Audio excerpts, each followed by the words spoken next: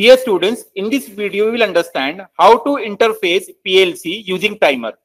Means यहाँ पे हम क्या करने वाले हैं that there will be an input x1 wherein x1 will be activated the moment I click on PB1 that is push button 1 but the output will be seen after 10 seconds.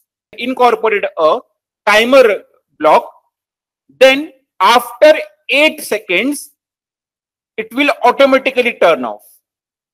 I'll show you the execution, like how it is happening.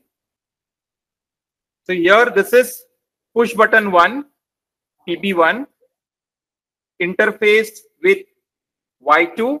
As you can see here, is the PLC B14MT, and this is a 5 by 2 way single solenoid valve. Now, this I have connected to double acting cylinder with reed switch now, the moment I click on push button 1, just after 10 seconds, this will be plugged outside. Now, after 8 seconds, it will automatically go inside.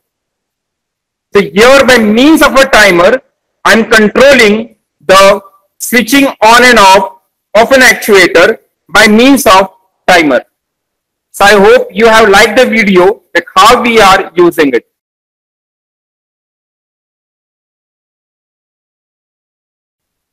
The button one is pressed for so that it can open after 10 seconds and exactly after 8 seconds it will automatically go inside.